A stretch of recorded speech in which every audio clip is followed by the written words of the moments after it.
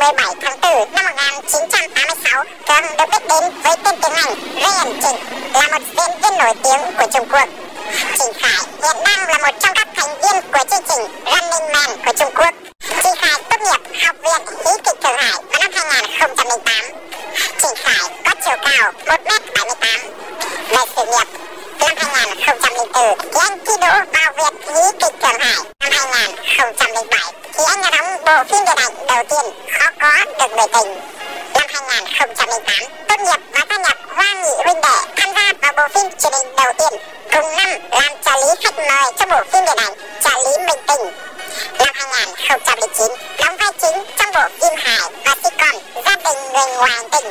Năm 2010, cùng với Lâm Chí Vĩnh, Triệu Tịnh đóng chính trong bộ phim truyền hình Đơn thân công chúa Tương thân ký. Năm 2011, tham gia bộ phim truyền hình Ly ái.